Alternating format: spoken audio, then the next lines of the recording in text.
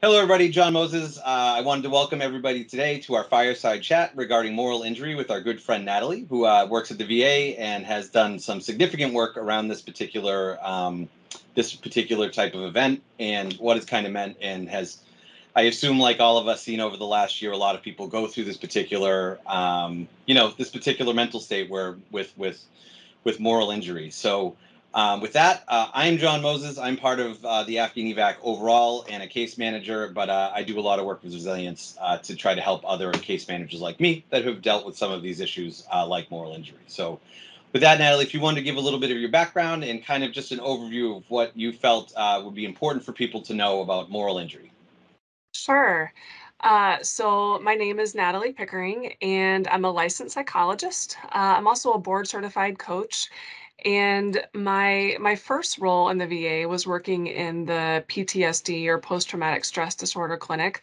So working with veterans um, across war eras, um, and I I started realizing that you know even when we were knocking out PTSD symptoms like nightmares and avoidance and depressive symptoms, the the hyperstartle kinds of things, you know we were really doing some great work there were these, you know, ongoing symptoms like shame, guilt. And so honestly, I I came to learn about moral injury. My veterans taught me uh, what moral injury is and how to support them. Um, my role has shifted. Uh, I'm now an organizational development psychologist, and so I'm I'm working more in the leadership space, working with teams. Um, but you know, we can use the concept of moral injury uh, especially in the pandemic so lots of lots of people in support roles felt you know betrayal um, yep. by not being able to be protected or you know like in healthcare not having their protective equipment um, leaders or people who are working for leaders you know when decisions are made that i don't agree with there's this element of betrayal um, that people experience that that would really come under that same umbrella of moral injury. So again, I got my start working with veterans. Um, the term was was coined back in the 50s by Dr. Jonathan Shay, who was also working with veterans and had that same experience, right? Like we're knocking out these symptoms, but there's this existential, spiritual thing that we're not hitting. So his work really prompted, um, introduced the term moral injury. Maybe I should start with what what that is, uh, so so everybody's on the same page. But basically, you know we have our own moral ethic. So that that may be you know influenced by our families it may be influenced by our faith traditions our our spiritual beliefs. Um, and so then when soldiers join the military there's a very different moral ethic uh, in the military um, which includes hurting killing etc right? This is a whole different playbook, rule book. So I have my moral ethic. I'm now with this entity that has a different moral ethic. Now right. I do things or I don't do things. So a moral injury may be related to something that I've done um, that I feel horrible about, or it may be that I didn't intervene or I didn't do something. And I'm left with this conflict.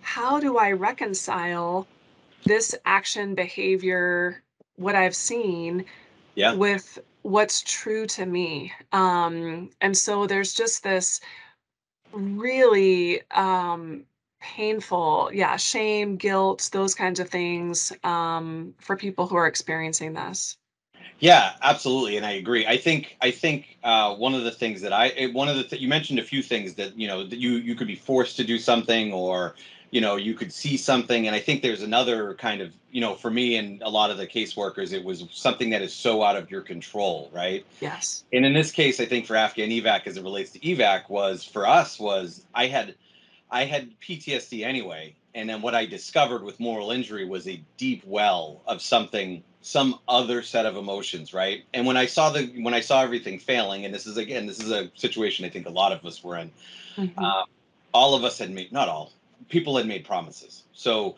and um, as for me, and the moral failing was always we weren't, you know, we weren't Russia. We weren't going to come in and kill people and then leave and just abandon everybody. And I had made promises. Yes. My friends had made promises, and and I remember when when um, the president left the country and all of the air just left the room because not only did my country fail them, but the country that I supported and you know we all supported and did all that work and bled for and, and died for um, failed them too, right? So Yes. did my work did my work matter, right?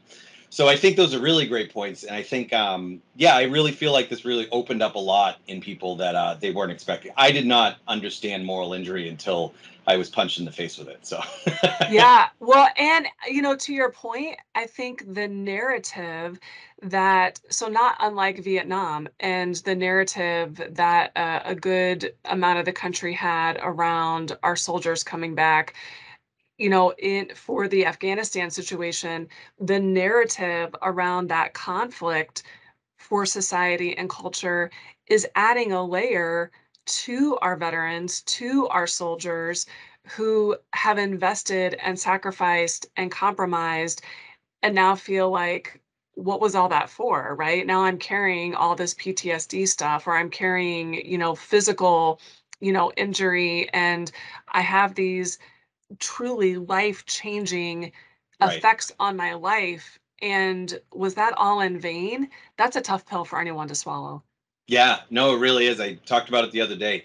I think you saw that they had the meeting with um, the Secretary of State Blinken, and one of the things that a lot of us were pushing was I need, and and you know, Kate from Resiliency did a good job of speaking to it, but case managers felt very unheard too. That was the other thing is like yeah we didn't have governmental support, right? We're all volunteers, and we were just shouting at the government all the time, and they weren't really yeah right? Like yeah there was a long time, and you brought it up. I just um, Vietnam veterans is one of the things I talked about was where I suddenly have in the past year become very um, more empathetic or sympath I don't know what the right word is, but I definitely understand how Vietnam veterans felt, like how they came yeah out of there and and that like I have to do something. And then people like John McCain and John Kerry and all these other politicians that came out and said, I feel wounded by this and I'm just gonna go fix it because it's that's hmm what soldiers and service members tend to do. So um, which is I think a lot of the drive to action that you saw during you know that first couple weeks in August, where everybody just dropped everything and just went went for broke. yes Actually, because I think my brain wasn't working,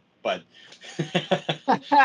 well, I'll tell you, um, related to that, we so when I was in the PTSD clinic, I partnered with Chaplain Services and I said, we've got to address this in a new way. So we started a group, um, a moral injury group, and built out, you know, different phases for healing. But one really cool thing was we included veterans from different wartime eras in the same group. yeah, And there was some really just some healing conversations around understanding you know again all all of the conflicts have their own nuances and challenges and you know political spins and all of those kinds of things. But honestly getting them in the same room uh, giving them a chance to share in a safe way about those woundings and to realize, wow, that's exactly how I felt, you know, right, 20 plus years later, um, was was really incredible. One thing we know in in addressing moral injury, I mean, there's there's multiple factors and you know what will support someone well, but one thing that we implemented was having so at the very end of the group we had like their loved ones, friends and family, other employees from the VA all gather together and and take community responsibility, right? We asked you to do this, right? You yeah, you represented us, our nation, our freedoms, and so we want to stand physically with you yeah, and take and hold and hear and own the impact that this has had on you um, because i think it's so isolating and and we just have got to do a better job in in verbalizing and saying we the community the country the culture the society are responsible um, for all of these internal struggles um, that our veterans are carrying Yeah, absolutely. I, you know, and for me, again, on the other side, you know, I experienced the other side of that, that, that, that solitude and being alone and, and it was, it wasn't a good place. Right. And I definitely feel like there's been a lot of thought uh, from, and again, a lot of this is just me, kind of my experience, but about how Americans and how we treat our service members, right? And I bet you could go back to ancient Rome and you would find a soldier that would have the same moral injury problem, right? All the PTSD, none of this stuff is new, right? Humans have been for a long time. But I definitely remember looking back during evac and just feeling completely isolated because how do you talk to your mom or like your wife or somebody that hasn't been to Afghanistan or somebody that hasn't been saved by an Afghan interpreter, right? Like somebody somebody saved my life, right? And then I have mm obligation now, right? Whether it's fair or not, right? Like he pulled me out of a bad spot. But how do you explain that kind of connection with somebody? And how do you explain the connection with Afghan people and how generous and kind and how open they were to becoming in a more Americanized society? And it just all got taken away, you know, over that time. But yeah, you're right. Like the community as a whole, they all, you know, there's all this I support veterans, we buy you coffee, you get free appetite. Right. And it's all very performative, right? And for us, it's a very deep moral issue that doesn't necessarily get addressed at that kind of like light level. So yes. I like that you do that. I think that's a great that's a great that's a great um, opportunity for people. Yeah.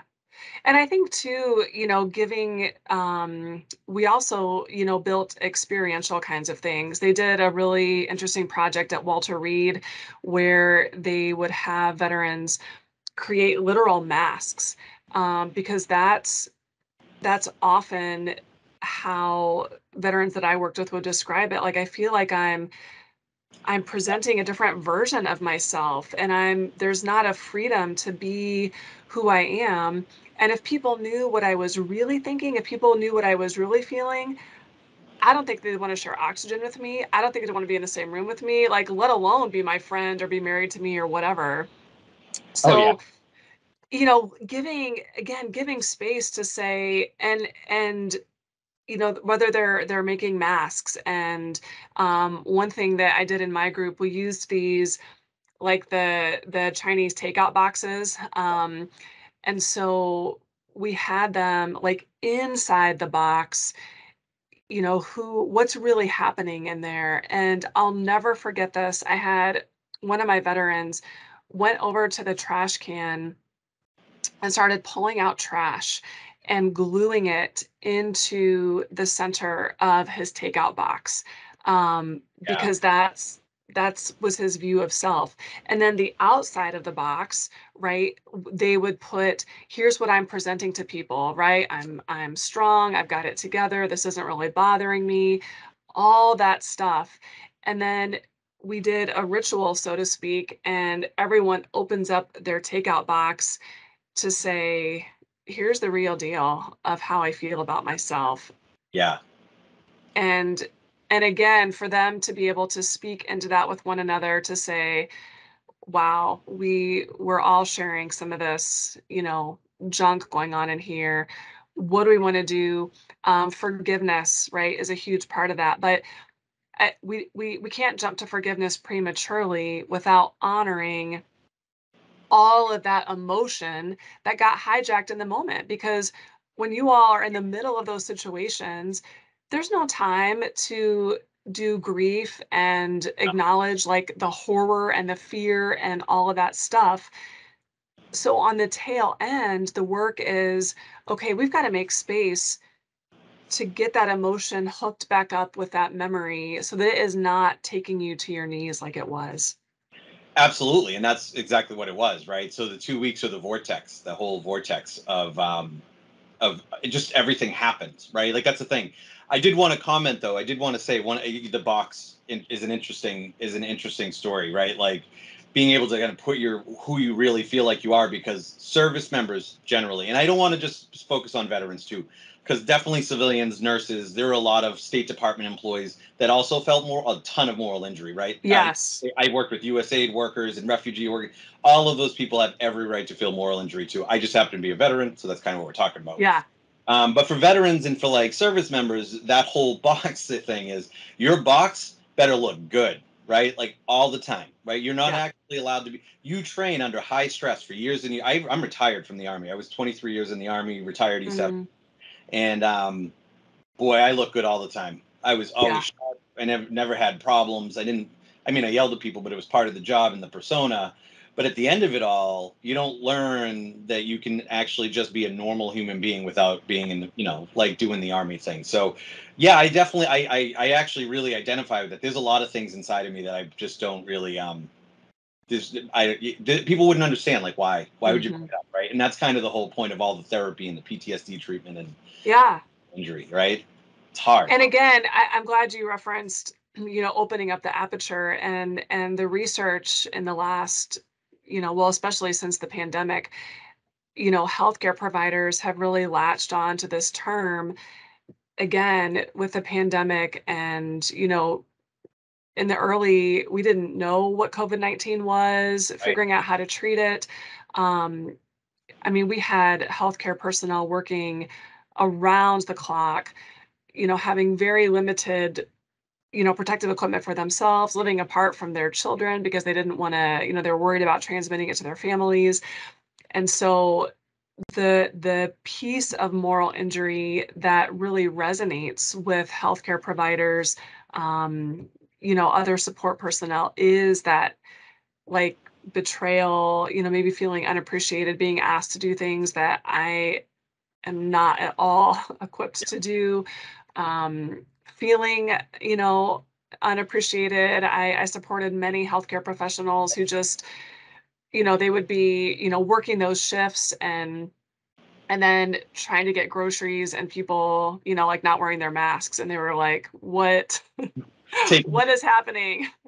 Well, and right, and that's the thing is, and I think that's the moral. There's a bunch of places I feel nurses could claim some pretty solid moral injury, but for me, you're like, you know, one of my best friends is a nurse, and then I would get in arguments with people. I'm not wearing, and I'm like, just just with Matt, like I like Yeah. whatever it is. But like for them, it's like I'm putting my life on the line because we don't know what COVID is at this point, right? Like Yes. nurses don't know, um, and they're doing things that they, they they don't know how risky it really is for their family, right? My friend, the nurse, would come home and she would take all of her clothes off in the garage, put them directly in the washing machine, and go in her basement and never see her family for months. She Yep. did. And can you imagine like going out and people are just giving nurses crap, or like the government's like, ah, we have enough masks, or you're selling them through a private market, right? Like, are you really supporting the people that are helping? And I, I, Right. I think that's a really good, interesting way to look at it, right? Like, just Yeah. there was a bigger obligation to the the in this case in to the medical community than we uh we as a society provided i think Right. and i understand their i understand their moral injury or outrage or whatever whatever emotion they have behind it Yeah, exactly. And that I think that illustrates, you know, the two components of, you know, what moral injury is. So there's this, you know, I did something or I didn't do something. And then there's this other piece of, you know, this was a chain of command issue, so to speak, or, you know, in whatever role your chain of command is in your own workplace. Even just generally, um, there are even some articles on Forbes around leadership moral injury, right? And and the impact of toxic leadership and how that term is applicable in other industries too. oh yeah toxic leadership's a big one right well i mean the thing again i was military so for me to go i have a civilian job i have a civilian career and one of the things i always struggle with struggled with was um, weak management because it was like you have like moral obligations to your employees, right? And I know not everybody believes that in the corporate world. It's just not how it's not the same as the military. But yeah, you're absolutely right. You could have somebody that's in charge of the hospital that doesn't take your request seriously, and you know people are getting hurt or your best friend gets sick, and all of that adds up to being really wounded. And it's a deep. It's just a different. And the reason we actually separated this one out, you know, Kate and I when we spoke about it was um, it's so different than the PTSD. It was so. It was so debilitating. It was just like this yes. It was like I, I don't even like to use the word, but it was almost like I vomited grief. It was like I almost I was just all of the things that I believed about my country and what we were going to do for Afghans was completely wrong. Right? It was Right. all fake, and like we ended up, especially the DoD people, really ended up at the front line of that and deal, dealt with. I mean, we dealt with death and and every possible bad thing you could think of. I've you know I've seen it now, and I've seen it in film. And we you know we did a we did one of these on um you know disturbing images because Mm, try to show to humanize and all that. But all of this in moral injury though for us stood out, and moral injury to me was uh, was really something important to speak about. But we are running up on 20 minutes. But I, it, this is your show, so I would like to uh, ask if you have any closing things. But then also, are there any resources, um, and we can provide these as part of when we release it to everybody. Uh, and if there are any resources um, that people should be using or reaching out to, or just general advice for people that feel like they're kind of in that like bubble. Yeah, for sure. So I think it is important to note the overlap of moral injury with PTSD. You know, it's it's not super clean. You can No. even throw burnout into that. I know you all do a lot on resilience. Yeah. So there's, you know, it's kind of like a multi Venn diagram, so to speak, with some symptoms kind of, you know, hanging out um, and some of those. And of course, as a psychologist, we want to label all those things. Um, You know what would be inside my my my container? It'd be some crazy soup. It would be like just what I don't know what. There's yeah. no there's no Yeah, so I I don't I don't want this to you know, it's so nuanced for each person and you know, Okay. we're speaking generally, but um there is uh I think it's with Brite Divinity School, a a soul repair center. So Rita Brock um has done a lot of work in this area. Um there's also a handbook and I'm happy to send the link to you that has a really nice just overview of what it is. They've even um, this was funded for VHA. Um, I think it's Pat Pernicano, who's a PTSD psychologist, put this together, um, and it's just a nice. Here are some ideas, but but I would say on the whole, the basics, right? Attending to your, you know, physically, um, attending to mental, emotional distress, and then the the key piece for moral injury is that community that I that I talked about before. So whether that's you know faith communities who are rallying around people struggling with this, this there's a spiritual existential element by definition of moral injury that has to be attended to. Yeah, I love that. No, I love that, and I think part of my my whole shtick is that you know people. Um, I I hit bottom right, like with, for a whole bunch of reasons, and I had I, I kind of had to pop out of it, and I had to do it. I had to hit bottom to be willing to do the work, and I hope other people, if they see this, don't have to, don't want to you know wallow around in the bottom of the pool for Yeah. You know for a while before they figure it out. So yeah, that's why we're recording these. We want to give people uh, opportunities to see that, and um, but with that, I do want to say I very much appreciate you taking the time to come out, Natalie. It's um it's really fun and supporting people like this has been um it's very meaningful to people like me. So caseworkers are kind of a different breed. Like a lot of us weren't leaders of organizations or anything. We're literally just the people doing the grind work. So um, but all of those people also have moral injury. It's just, you know, Yes. personally, I appreciate it. And as a resiliency group, I appreciate it on behalf of everybody that's kind of gone through this stuff. I I I love what you're doing. I love that there's actually healing happening um, in in what you're doing. So I'm I'm thrilled to be able to support you in a small way. Awesome. Well, I appreciate it, Natalie. I'm going to hit uh, stop record here, I think.